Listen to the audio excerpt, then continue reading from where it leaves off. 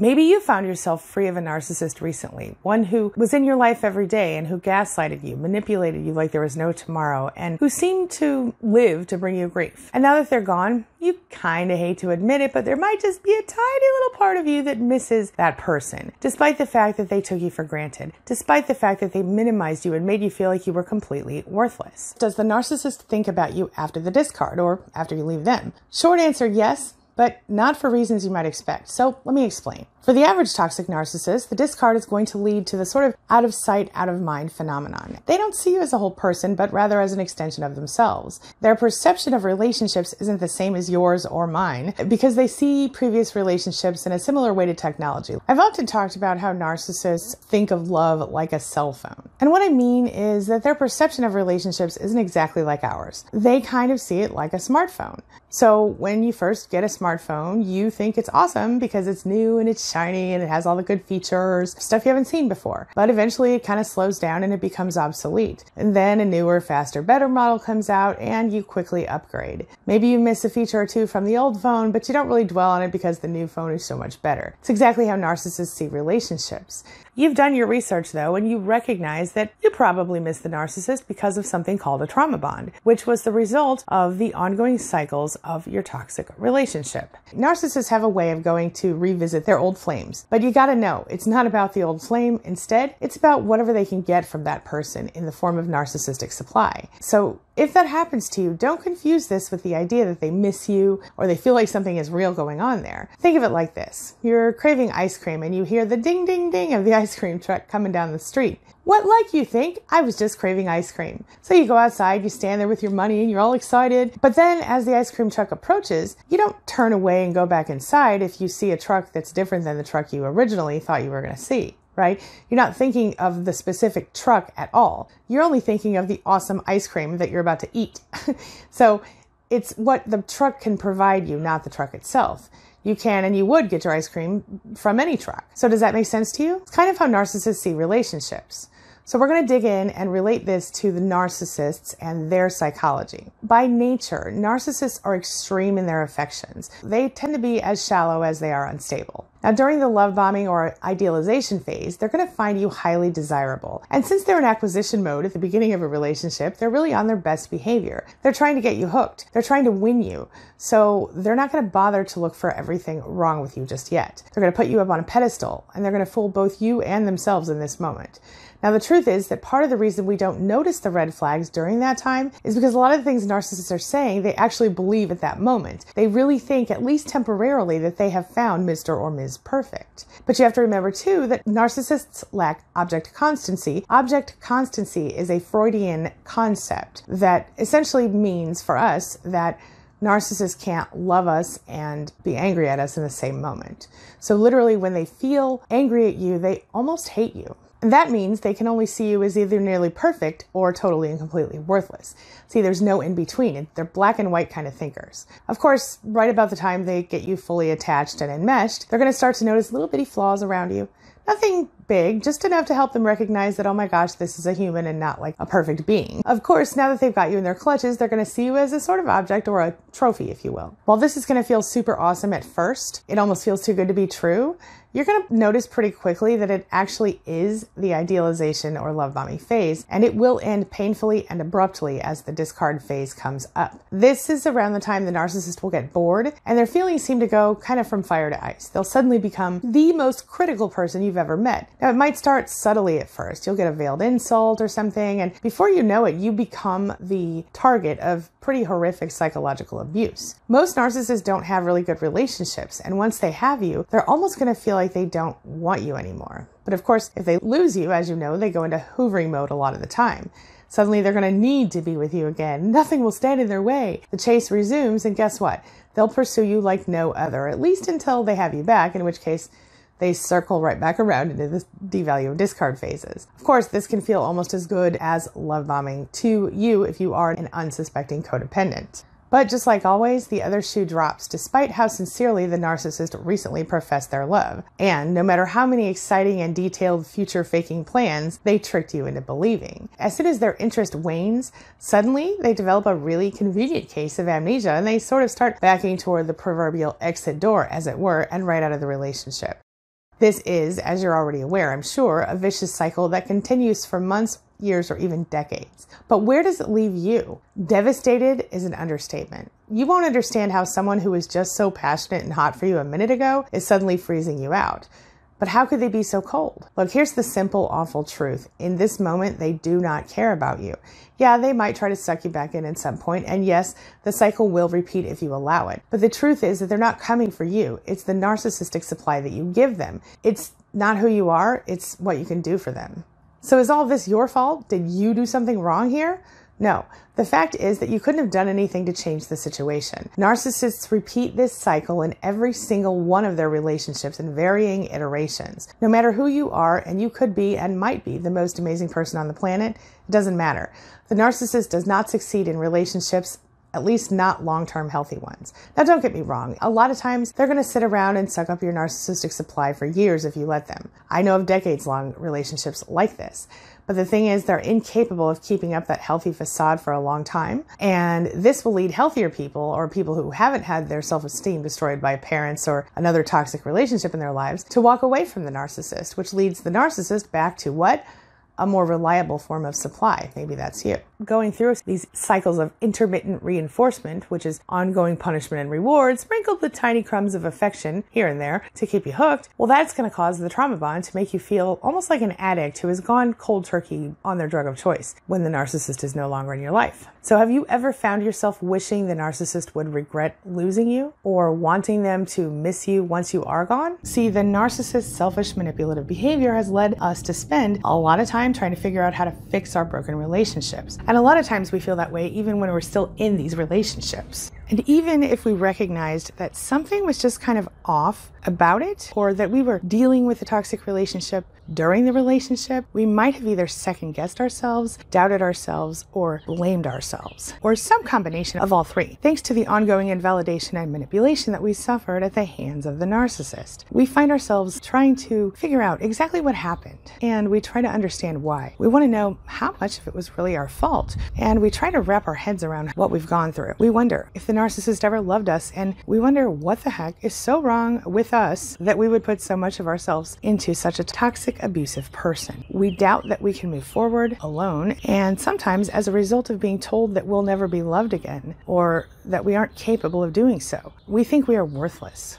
and we doubt we deserve to be happy. All of this leads us to struggle with cognitive dissonance, a form of psychological stress or discomfort that happens when you simultaneously hold two or more contradictory beliefs ideas, or values in your brain. In other words, because we see one thing and we're told another thing or shown another thing by the narcissist during the relationship, and because we try to, or we actually do, start believing it, it messes with our heads in some pretty big ways. So, how do you begin to overcome overthinking and rumination about the narcissist when they did what they did to you? Well, let's start here. You didn't get closure. You need closure. And as it turns out, that isn't something that most of us get from narcissists. Most narcissists do not offer their victims any sense of closure. Either they leave without a word or they aggressively discard you and refuse to acknowledge any fault at all on their part. Or in some cases, victims find the strength to leave and then the narcissist plays the victim. In fact, in nearly all cases where a narcissist is involved in a relationship that does end, they leave you feeling no closure, feeling confused, and spinning. They either do this intentionally or instinctually, depending on their intelligence, their level of narcissism, or their place on the cluster B spectrum. The higher their intelligence, or level of narcissism or the higher up on the spectrum they are, the more likely they are to do this intentionally. That means you need to create your own closure. Now I'm going to share with you an exercise that I think is going to be really helpful for you. I call it the letter exercise. One powerful way that you can get the closure that you need is to write the narcissist a very special kind of letter. Now this exercise actually came to me personally in a very strange way. At the age of around 20 years old, I found myself ruminating about a painful experience I'd had with a person I had previously been involved with I was in so many ways finding peace and happiness after ending that relationship, I could not stop thinking about this person and feeling so angry about what he had done to me. So one morning while I was having my coffee and again feeling all kinds of anger, I threw my hands up and I screamed at the ceiling. What do I need to do to get this person out of my head? I realized in that moment that I had continued to allow this person to control me on some level because I couldn't stop being angry. And even though I was no longer in contact with him, he was in my head all the time. It was right about then that I thought I was going nuts because quite honestly, while I was alone in my apartment, at this moment I literally heard someone whisper in my ear. Not only was I furious at this mysterious voice I knew for sure didn't come out of my own head because of the craziness that it talked about. I mean, it literally said something absolutely ridiculous. It said, You have to forgive him. I was like, What? Anyway, after calming myself down and getting my head together, I sat down with a pen and a notebook and I started to write a letter. One that would not only help me to create my own closure, but one that would change my life forever and in some very surprising ways. Inadvertently, I ended up creating an exercise I would end up using with my clients over the years. Here's how you can do the same thing. First, get yourself a pen and a notebook. And if you struggle with writing by hand due to some physical issue, then you can always type it out on your computer or voice to text it or whatever. But if at all possible, I suggest you write it with a pen or a pencil as it seems to have some kind of additional therapeutic value for some reason. Anyway, you're going to write a letter to the narcissist. In this letter, you're going to say all the things you wish you had said to them, but you never did. Or you're going to say the things that you needed them to hear, but they refused to hear. Now, be sure when you're doing this to take your time. It might take you a couple days. So if you need to, write a little bit at a time and put it away and then come back to it when you're ready or when you have the time to do it. Now, put all of your anger, your frustration, your sadness, disappointment about the way they treated you in the relationship and in any other feelings you have about the narcissist in this letter. Put it all in the letter. You can say all the curse words you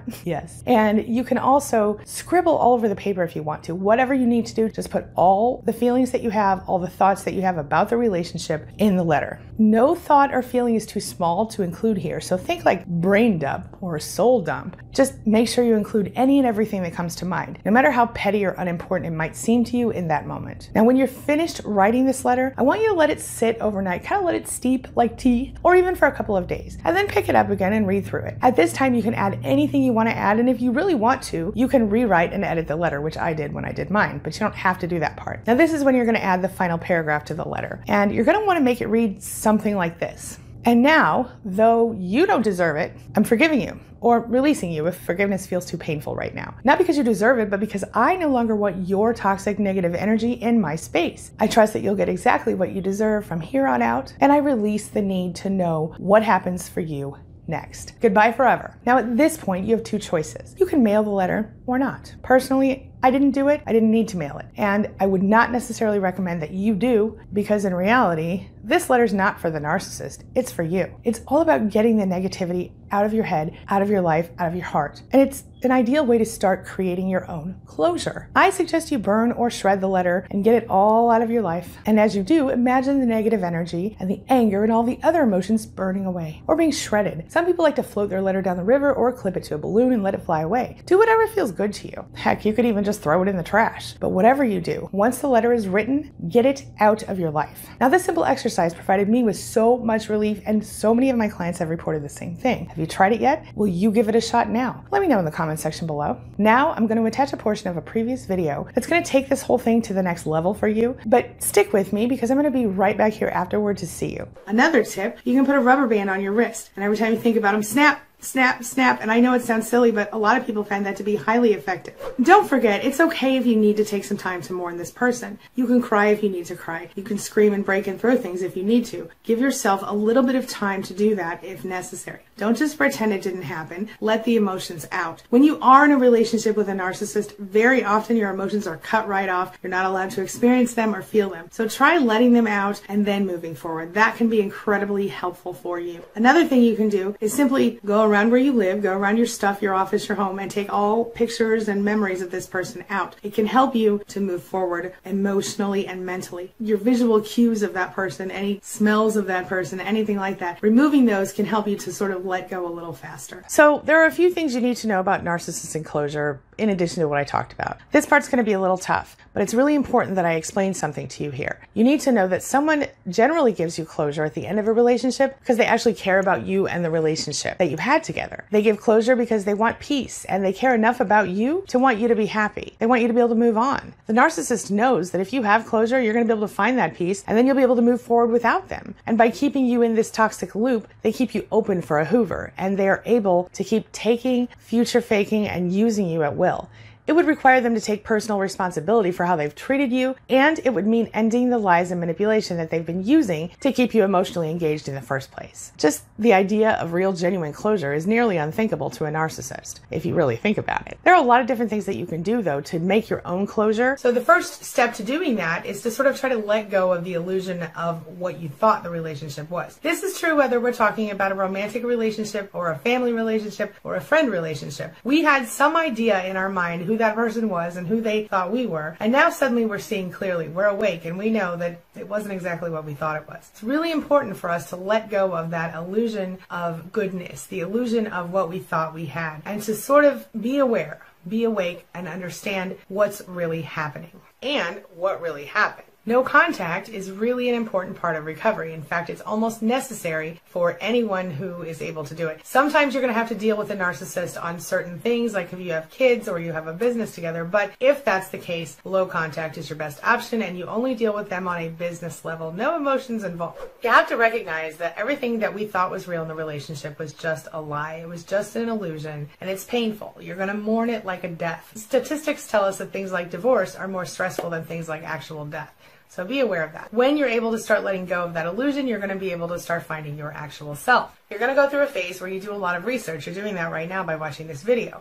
You need to understand the person on a logical level. And I think most intelligent people have that need once they realize what the heck they've been going through. You then have to accept what you can control and what you can't control and recognize there are some things you have power over and some things you don't. What you do have power over is yourself and your own perception and your own world. What you don't have power over is the narcissist. So the best thing that you can do is steer clear, stay as far away as possible, and don't engage unless you're absolutely forced to because you have children or a business together. You won't receive closure from a narcissist, but you can find something in yourself that is beautiful out of all of this mess. This is a big rubble filled mess, this thing that happened. What you can do is start pulling the rocks off the mess and look in there, and there will be your beautiful, bright soul. And you can nurture yourself and you can love yourself to the point that you begin to really grow and change. You can create your own closure without being in contact with the narcissist. You can create your own closure and find your own peace. And this is the best part of all of this, the silver lining of this whole darn situation. You can come out being a better, stronger, more evolved person than you ever were before you started this relationship. I'm not saying it's the best way to get to it. I'm just saying if you've already been through it, you might as well take that silver lining and run with it. The bottom line is that narcissists seem to stop thinking about you when they no longer want you. But most narcissists will repeat this cycle over and over again with you, and like I said, everyone else they're involved with in various capacities and various iterations. It's not just you, it is them. In fact, it's not you at all. The only responsibility you have is that you continue to allow it to happen. So let's just review here. Is the narcissist going to come back? Most likely if you let them. Do they miss you when you're gone? Sort of. They miss your supply. They miss what you do for them more than they miss you personally. Should you allow a narcissist to come back into your life? Personally, I say no. I think it's a bad idea. I think the only way to really truly heal and move forward in a healthier way is to go no contact with the narcissist. However, there are certain situations in which you can't go no contact with the narcissist. And in that case, there are things that you can do to make them be nicer to you. But in my opinion, these things are short term solutions, not long term ones. For example, if you never say anything negative to the narcissist ever about them, or you never criticize them, you never do anything to cut down their self esteem, that can help. If you agree with everything they say, that can help. If you serve them and do everything they need you to do, and you're a really, really good little source of narcissistic supply, that can help. The truth is, though, that no one wants to live in a situation like that, at least not for long. Now, sometimes we think, oh, at least it's the wolf I know and not the wolf I don't know. Or sometimes we think, I can't afford to leave. I have too much going on. Or we have kids or whatever. And look, I get it. Not everyone can leave. And I'm certainly not implying that you must get up and leave right this minute. But at the same time, I hope that if you're not actively planning to leave, you're at least thinking about ways that you can get yourself safe emotionally. There are some things you can do if you want to leave the narcissist but haven't done it yet, and maybe you need to plan ahead. So if you do wish that you could leave the narcissist but you're not sure how you're going to do it yet, check out queenbeeing.com slash plan, P-L-A-N. All right, now this brings me to the question of the day. And the question of the day is, have you gone no contact with a narcissist and do you believe that they missed you or that they wanted you back? Or do you think that it was just that they missed what you could do for them or your narcissistic supply? And what kinds of antics did you deal with when they did try to come back? Or were you completely ghosted? Have you struggled to stop overthinking about what happened to you in your toxic relationship? If so, were you able to get past it or are you still struggling with it now? Have you tried the letter exercise and how did it work for you? If not, what did work? Share your thoughts, share your ideas, share your experiences in the comment section below and let's talk about it. As always, thank you so much for being a part of my day and a part of my life. And hey, thanks for letting me be a part of yours. It really does mean a lot to me. Now, before I go, make sure you take a look at the videos I'm going to leave for you right there and right there. And while you're here, hit that subscribe button right over there so we can stay connected and continue on this healing journey together. I'll see you soon.